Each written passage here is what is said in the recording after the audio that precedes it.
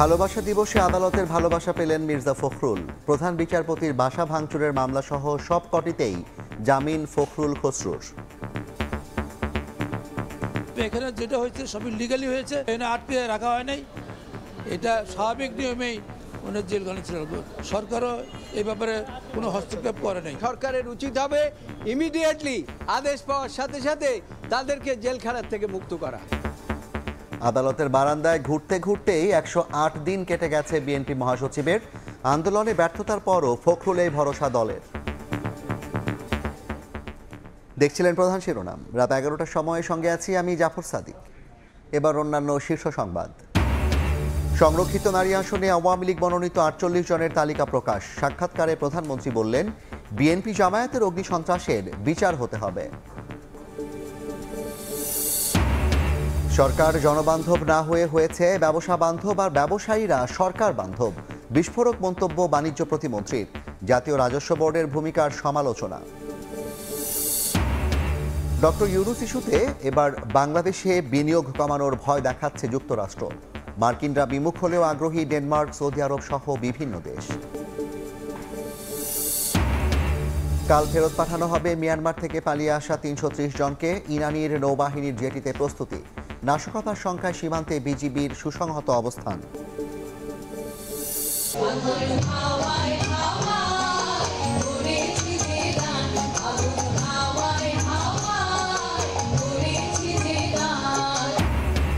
ফাগুন হাওয়ায় ভালোবাসার রঙিন উৎসব, বসন্ত ও ভালোবাসা দিবস উদযাপনে মাতোয়ারা, বাঙালি। আলাদা মাত্রা যোগ করেছে সরস্বতী পূজা। বিদ্যাদেবীর চরণে ভক্তদের অঞ্জলি।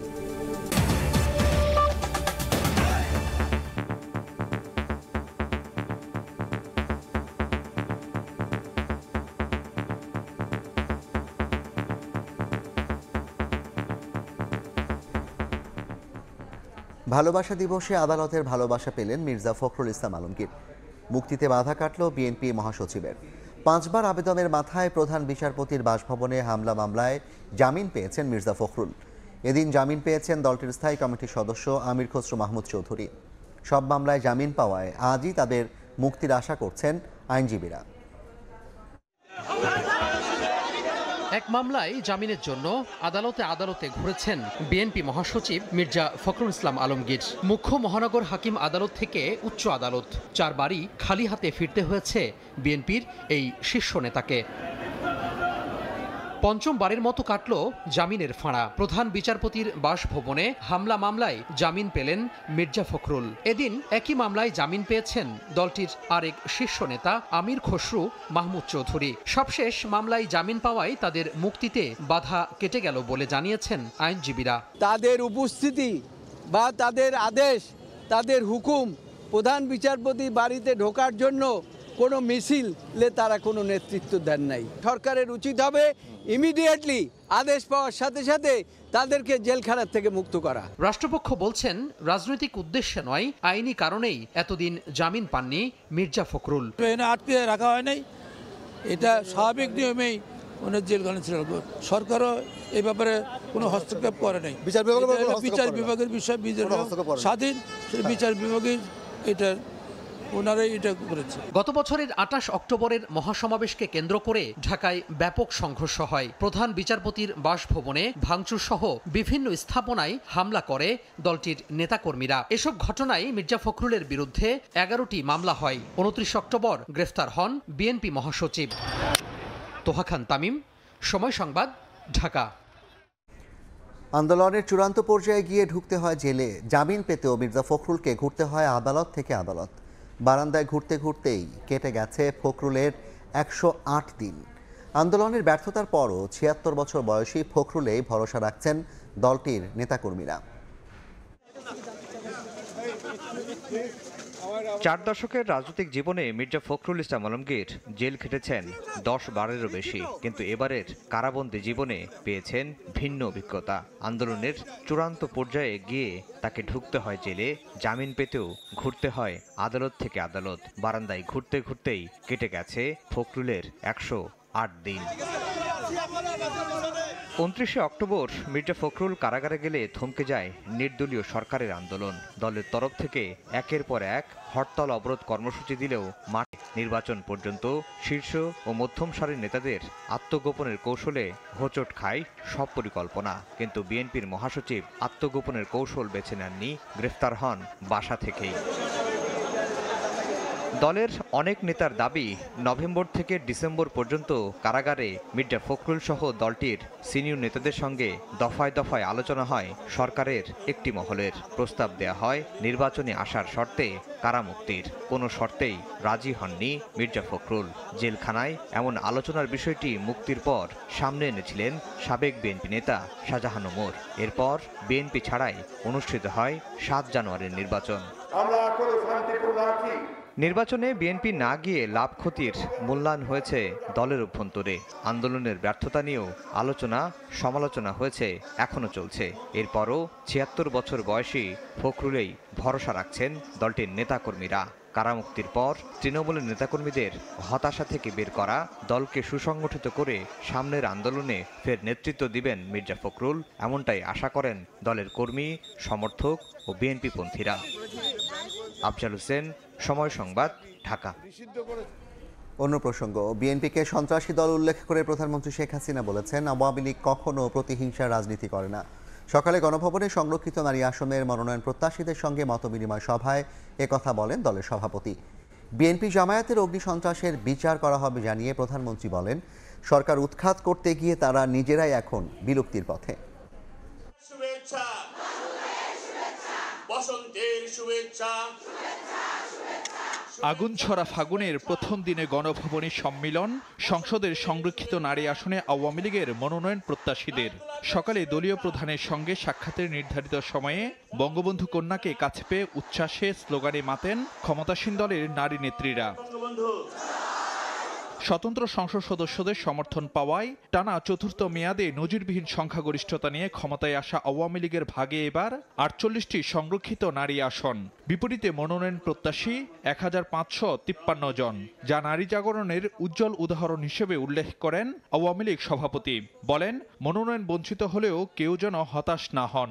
এত ফুলের মেলার থেকে মাত্র আটচল্লিশটা ফুল তুলে তো সেটা বাঁচতে তো হবে, এটা তো ঠিক বেছে নিতে হবে। তারপরে আমি বলব সব ফুলই সুন্দর। আর এক জায়গা না হলে অন্য জায়গায় আমরা ব্যবস্থা করতে পারব এটা কোনো ব্যাপার না।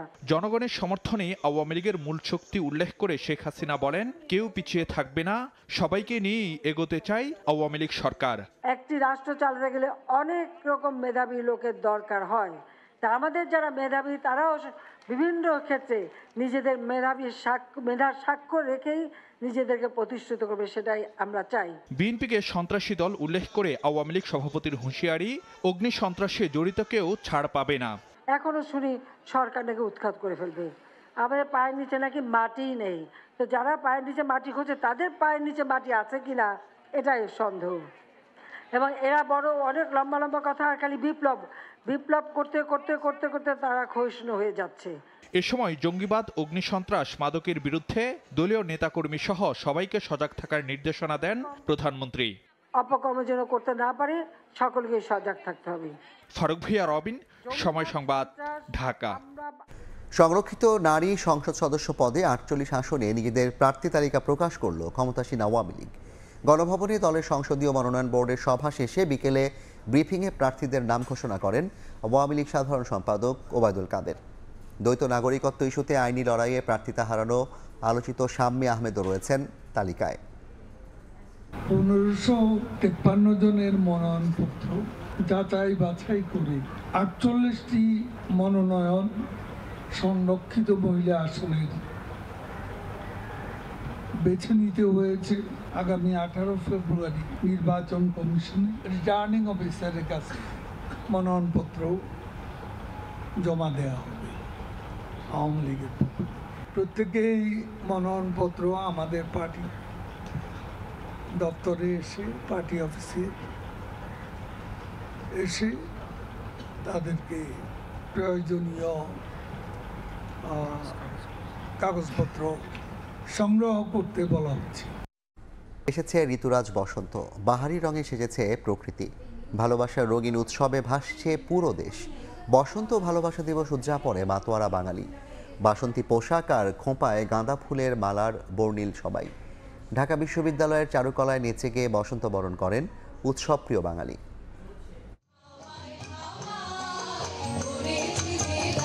বাতাসে দিচ্ছে দোল বসন্তের হাওয়া। ফাগুনের রং লেগেছে সবার মনে। চারিদিকে আজ ঋতুরাজের জয়গান।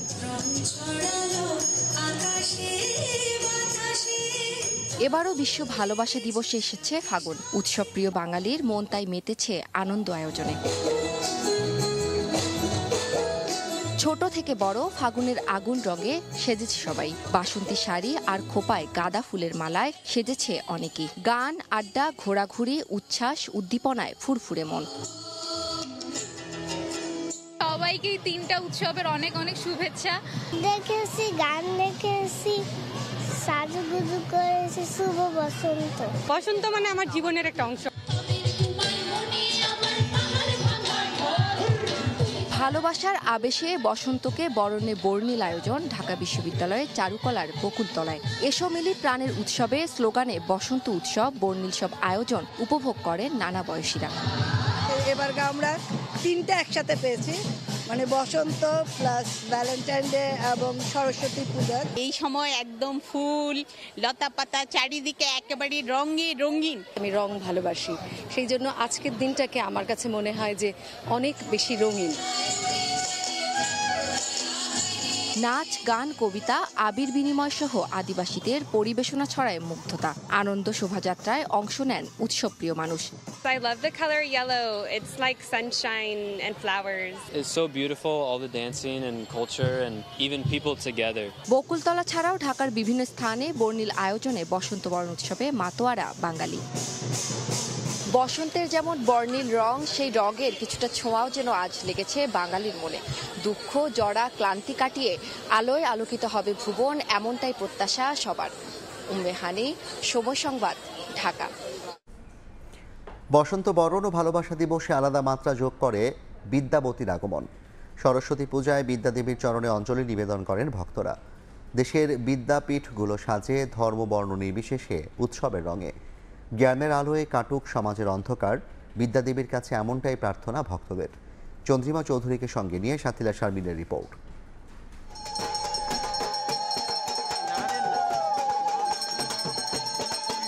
মাধব সরন্তি মাঘ মাসে শুক্লা পঞ্চমী তিথিতে শিক্ষা জ্ঞান ললিতকলার দেবী সরস্বতীর আরাধনায় মগ্ন সনাতন ধর্মাবলম্বীরা। নিষ্ঠা ও জানার আগ্রহকে জাগ্রত করে জ্ঞানের চরম শিখরে পৌঁছানোর এই প্রয়াস হাজার বছরের বাঙালি সংস্কৃতি। ভক্তদের বিদ্যাদেবীর কাছে প্রার্থনার এ উৎসব রঙিন। বসন্ত ও ভালোবাসা দিবসে পূজার আয়োজনে তাই বর্ণিল সব বয়সী মানুষ। আমি নিজে খুব রঙিন আমার রঙিন সব কিছু খুব পছন্দ। আমাদের ছেলে মেয়েরা যাতে ভালো মানে করতে পারে বা সমাজে পরিবর্তন আনতে পারে। এই শুভক্ষণকে অনেক অভিভাবকই বেছে নিয়েছেন শিশু শিক্ষা জীবনের শুরুর মুহূর্ত হিসেবে। বসন্তের প্রথম দিনে শতব্যস্ততা পায়ে ঠেলে ঢাকা বিশ্ববিদ্যালয় জগন্নাথ হল মাঠে ভক্তদের ভিড়। এবার উনসত্তরটি মণ্ডপে হয়েছে দেবী বন্দনা। পৃথিবী যেমন বর্তমানে একটা অস্থিতিশীল অবস্থায় আছে, এটা যেন স্থিতিশীলতা পায়? আমার অন্য ধর্মের ফ্রেন্ডরাও এসেছি আমরা একসাথে কাজ করেছি আমরা এটাকে একটি উৎসবে মুখর পরিবেশ করার চেষ্টা করেছি। ধর্ম বর্ণ নির্বিশেষে সর্বস্তরের মানুষ যোগ দেন উৎসবে। ভিনদেশিরাও ছুটে আসেন মণ্ডপে। Same the celebrate Saraswati Puja in India the deep cultural and traditional links that we share between India and Bangladesh and to see people celebrating here in Bangladesh in India you know, it's a, it's a great feeling of oneness. সারা দেশে দেবী পূজিত হচ্ছেন বিভিন্ন শিক্ষাপীঠে। এখানে শিক্ষার্থীরা তাদের জ্ঞান আহরণের যে পিপাসা তার জন্য বর চাইছেন দেবীর কাছে। জাতি ধর্ম বর্ণ নির্বিশেষে রঙিন এই উৎসবে যোগ দিয়েছেন সবাই। অসাম্প্রদায়িক বাংলাদেশে ভালোবাসা ছড়িয়ে পড়ুক সর্বত্র। সাতিলা শারমিন সময় সংবাদ ঢাকা। সরকার যেমন জনবান্ধব না হয়ে হয়েছে ব্যবসা বান্ধব তেমনি ব্যবসায়ীরা হয়েছেন সরকার বান্ধব। এমন বিস্ফোরক মন্তব্য করেছেন বাণিজ্য প্রতিমন্ত্রী। দুপুরে রাজধানীর মতিঝিলে এমসিসিআই এর এক অনুষ্ঠানে তিনি একথা বলেন। দায়িত্ব নিয়ে বলতে পারি আগামী মাসের এক তারিখ থেকে দৃশ্যমান পরিবর্তন পাবেন এই মার্কেটিং সিস্টেমে। কৃষি পণ্যর প্রত্যেকটা জিনিসের উৎপাদক পর্যায়ে, পাইকারি পর্যায়ে এবং খুচরা পর্যায়ে মূল্য নির্ধারণ আপনারা ওয়েবসাইটে পেয়ে যাবেন। একটা ট্রাকের উঠানো নামানো নিয়ে প্রাইসিং বাড়ায় না দিতে পারে। এই জিনিসগুলো কিন্তু অলরেডি আমাদের বিভিন্ন এজেন্সি কাজ করছে। বার্গেনিং জায়গাটা কিন্তু অনেক সফট হয়ে গেছে। মানে ব্যবসায়িক সংগঠনগুলি অনেক সরকার বান্ধব হয়ে গেছে। আমরা যেমন ব্যবসা বান্ধব হয়ে গেছি, জনবান্ধব না হয়ে, আর ব্যবসায়ী সংগঠনগুলোও কেন জানি সরকার বান্ধব হয়ে গেছে আর কি। এই বার্গেনিংটা থাকতে হবে। চেষ্টা করে ডক্টর মোহাম্মদ ইউনুসের শ্রমিক ঠকানো মামলায় সাজা এড়াতে না পেরে এখন বাংলাদেশে বিদেশি বিনিয়োগ কমানোর ভয় দেখানোর চেষ্টা করছে মার্কিন যুক্তরাষ্ট্র। বেগম জিয়ার সাবেক সহকারী প্রেস সচিবের উদ্দেশ্যমূলক প্রশ্নে এমন জবাব মার্কিন পররাষ্ট্র দপ্তরের মুখপাত্রের। এ ধরনের বক্তব্য দেশের স্বাধীন বিচার ব্যবস্থায় হস্তক্ষেপ উল্লেখ করে রাষ্ট্রপক্ষের আইনজীবী বলছেন, প্রয়োজনে আন্তর্জাতিক আদালতে অবমাননার মামলা করবে বাংলাদেশ। ওয়াশিংটন ডিসি থেকে দস্তগীর জাহাঙ্গীরকে সঙ্গে নিয়ে আফজাল হোসেনের রিপোর্ট। শ্রমিক ঠকানোর মামলায় সাজা হয়েছে ডক্টর মোহাম্মদ ইউনুসের। দেশের আদালতে প্রকাশ্যে অনুষ্ঠিত হওয়া বিচারে আত্মপক্ষ সমর্থনের সব ধরনের সুযোগ পেয়েছেন অধ্যাপক ইউনুস। তারপরও শ্রম আদালতে নিজেকে নির্দোষ প্রমাণ করতে পারেননি তিনি। মামলা হওয়ার পর থেকেই আইনি লড়াইয়ের পাশাপাশি ভিন্ন পথেও হেঁটেছেন মোহাম্মদ ইউনুস। ইউরোপ আমেরিকায় থাকা বন্ধু সহকর্মীদের দিয়ে বারবার চেষ্টা করেছেন বিচার প্রশ্নবিদ্ধ করার। বিদেশি গণমাধ্যমে টাকার বিনিময়ে বিজ্ঞাপন ছাপিয়ে সেটিকে বিবৃতি বলে প্রচারের চেষ্টা করেছেন ডক্টর ইউনুস। বিদেশি নাগরিকদের প্রয়োজনে দেশে এসে বিচার পর্যবেক্ষণের আহ্বান ছিল রাষ্ট্রের সর্বোচ্চ পর্যায় থেকে, কিন্তু আসেননি কেউই, বরং দূর থেকে করে গেছেন মন গোড়া মন্তব্য। এর ধারাবাহিকতায় সবশেষ চাল তিনি দিলেন মার্কিন যুক্তরাষ্ট্রের স্টেট ডিপার্টমেন্টের নিয়মিত ব্রিফিংকে ব্যবহার করে। ব্রিফিংয়ে ম্যাথিউ মিলারকে উদ্দেশ্যমূলক প্রশ্ন করেন, বিএনপি জামাত জোট সরকারের সময় বেগম জিয়ার সহকারী প্রেস সচিব মুশফিক ফজল আনসারি। মুশফিক প্রশ্ন করেন, অধ্যাপক ইউনুসের অফিস দখল করতে বিশ জন লোক গিয়েছিল। এক্ষেত্রে বেগম জিয়ার সাবেক সহকারী প্রেস সচিব সূত্র হিসেবে ব্যবহার করেন দেশি গণমাধ্যমকে। মার্কিন পররাষ্ট্র দপ্তরের মুখপাত্র বলে বসেন, ইউনুসের বিরুদ্ধে মামলার রায়ে বাংলাদেশের বিচার ব্যবস্থা নিয়ে প্রশ্ন উঠতে পারে, ব্যাহত হতে পারে বাংলাদেশে বিদেশি বিনিয়োগ। May represent a misuse of Bangladesh's labor laws to harass and intimidate Dr. Yunus. Uh, we worry the perceived misuse of labor and anti corruption laws could raise questions about the rule of law and dissuade future foreign direct investment. And we encourage the Bangladeshi government to ensure a fair and transparent legal process for Dr. Yunus as the appeals process continues. এই প্রসঙ্গে ইউনুসের মামলা রাষ্ট্রপক্ষের আইনজীবী বলেন Matthew মিলারের বক্তব্য স্বাধীন সার্বভৌম রাষ্ট্রের বিচার ব্যবস্থায় হস্তক্ষেপ প্রয়োজনে মার্কিন স্টেট ডিপার্টমেন্টের বিরুদ্ধে আন্তর্জাতিক আদালতে আদালত অবমাননার মামলা করা হবে প্রফেসর ইউনুসকে আইনি লড়াইয়ে কোথাও ছাড় দিব না এবং ইউএস স্টেট ডিপার্টমেন্টকে আমরা সরাসরি বলে দিচ্ছি এই ধরনের বিচার ব্যবস্থায় নাক গলাবেন না তাহলে আপনাদেরকেও আইনের আওতায় আনা হবে। মিলারের এই বক্তব্যের পরে স্বাভাবিকভাবেই প্রশ্ন বিজয়ী হলে কিংবা মার্কিন যুক্তরাষ্ট্রের বন্ধু হলে সেই ব্যক্তি কি দেশের থেকে বড় হয়ে যান অথবা তিনি কি আইনের ঊর্ধ্বে উঠে যান? এছাড়া যে শ্রমিকদের ডক্টর ইনুস ঠকিয়েছেন তাহলে তাদের প্রতিকার কি? আফজাল হোসেন সময় সংবাদ ঢাকা। মিয়ানমার থেকে পালিয়ে আসা তিনশো ত্রিশ জনকে ফেরতের আগ মুহূর্তে নাশকতার সংখ্যায় সীমান্তে নিজেদের অবস্থান সুসংহত করেছে বিজিবি। সীমান্তের দশ ফুট পরপর পেট্রোলিং সহ ড্রোন দিয়ে পরিস্থিতি পর্যবেক্ষণ চলছে। সাক্ষাৎ ত্রিপুর ক্যামেরায় বিস্তারিত জানাচ্ছেন কমল দে। বিদ্রোহী গ্রুপ আরাকান আর্মির হামলার মুখে প্রাণবয়ে বাংলাদেশে পালিয়ে আসা মিয়ানমারের তিনশো জন বিজেপি সেনা সদস্য, ইমিগ্রেশন অফিসারকে ফেরত পাঠানোর সময় যতই এগিয়ে আসছে, ততই সীমান্তে কঠোর হচ্ছে বর্ডার গার্ড বাংলাদেশ বিজিবি। বিশেষ করে সীমান্তে নাশকতার সংখ্যায় সকাল থেকে তারা ফুড প্যাট্রোলিং এর পাশাপাশি নাফ নদীতে একাধিক টহল বোর্ডও নামিয়েছে। সে সাথে সীমান্ত পরিস্থিতি পর্যবেক্ষণ করা হচ্ছে। ড্রোন দিয়ে এই তিনশো তিরিশ জনকে ফেরত পাঠানোর আগেই একটি গ্রুপ নাশকতা সৃষ্টি করতে পারে এমন সংখ্যা দেখা দেয়। আর এরই প্রেক্ষিতে গিয়ে টেকনাফ সদর শাহপরিদ্বীপ দমদমিয়া, লেদা হোয়াইটং এবং থাইংকালি সীমান্তে বিজিবি কঠোর অবস্থান নেয়। আরেকটি তথ্য রয়েছে, মিয়ানমার সীমান্তের অভ্যন্তরেও সেনাবাহিনীর অবস্থান। আর এরই প্রেক্ষিতে জিরো টলারেন্স নীতি নিয়ে রোহিঙ্গা অনুপ্রবেশের বন্ধের পাশাপাশি সীমান্ত সন্ত্রাসী বন্ধ এই বিজিবি টহল জোরদার করেছে। প্রতি দশ ফুট অন্তর অন্তর এক একজন বিজিবি সদস্য অবস্থান নিয়ে সীমান্তকে সুরক্ষিত করছে। সে সাথে ফুড প্যাট্রোলিং এর মাধ্যমে ঝুঁকিপূর্ণ প্রতিটি পয়েন্টে নজরদারির মধ্যে রেখেছে। আর ড্রোন দিয়ে চলছে পুরো সীমান্ত অবজারভেশন রোহিঙ্গাদের পাশাপাশি মিয়ানমার ভিত্তিক সন্ত্রাসী সংগঠনের সদস্যদের বাংলাদেশে অনুপ্রবেশ ঠেকাতে জিরো টলারেন্স নীতি নিয়েছে বর্ডার গার্ড বিজিবি এরই অংশ হিসাবে নাফ নদীতে চলছে প্যাট্রোলিং তার সাথে স্থলসীমায় ফুড প্যাট্রোলিং এবং ড্রোন দিয়ে চলছে সীমান্ত পরিস্থিতি পর্যবেক্ষণ। বাংলাদেশ, মিয়ানমার সীমান্তের লেদা থেকে কমল দে দেখছেন রাত এগারোটার সময়। বিভিন্ন দেশের মতো ফ্রান্সেও উদযাপন করা হচ্ছে বিশ্ব ভালোবাসা দিবস। ভ্যালেন্টাইন্স ডে ও বসন্ত উৎসবের খবর জানাতে প্যারিস থেকে সরাসরি যুক্ত হচ্ছেন সহকর্মী লুৎফর রহমান বাবু। বাবু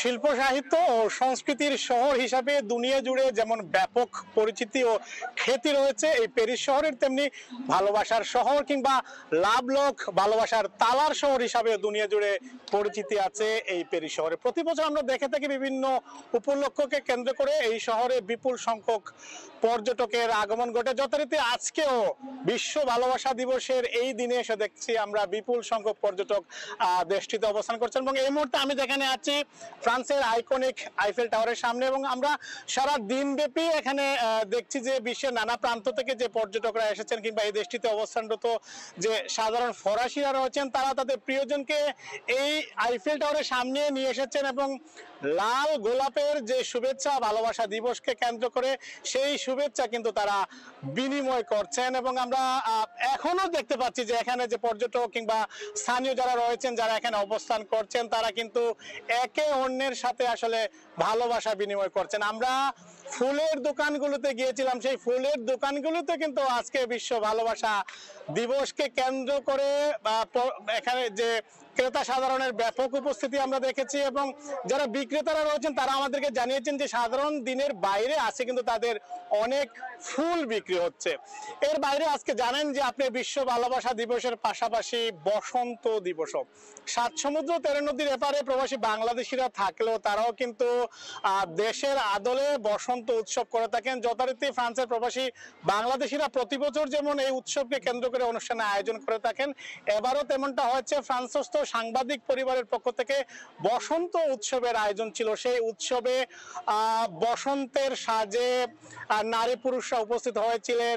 শিশু কিশোর যারা, তারাও কিন্তু সেখানে উপস্থিত হয়েছিলেন এবং তারা গান ও আড্ডায় মেতে ওঠেন। বিশেষ করে বাংলাদেশে তারা যেভাবে বসন্ত উৎসবের পালন স্মৃতিচারণ করেন, দেশের গান পরিবেশিত হয় সেখানে এবং একই সাথে দেশীয় খাবারও কিন্তু পরিবেশিত হয়। প্রবাসী প্রবাসী বাংলাদেশিদের সেই উৎসবটি আসলে একটা পর্যায়ে আড্ডা উৎসবে পরিণত হয় এবং সেই উৎসবে ঘুরে ফিরেই বাংলাদেশের যে বসন্ত উৎসবের কথা, সেই উৎসবের কথাগুলোই কিন্তু তারা ঘুরে ফিরে সেখানে তুলে ধরেন এবং তারা বসন্ত নিয়ে তাদের যে শিক্ষা জীবনের যে স্মৃতিচারণ বা বিশ্ববিদ্যালয় জীবনে তারা যেভাবে বসন্তার চারুকলায় যেভাবে তারা বসন্ত উৎসব পালন করতেন, সেগুলো তাদের আলোচনায় উঠে আসে। তো ফ্রান্সের আইফেল টাওয়ার থেকে বিশ্ব ভালোবাসা দিবস ও ফ্রান্সের প্রবাসী বাংলাদেশিদের বসন্ত উৎসব নিয়ে এই ছিল এখন পর্যন্ত আমার কাছে সর্বশেষ। সরাসরি ফ্রান্সের রাজধানী প্যারিস থেকে জানছিলাম বসন্ত বরণ এবং ভ্যালেন্টাইন্স ডে উদযাপনের খবর।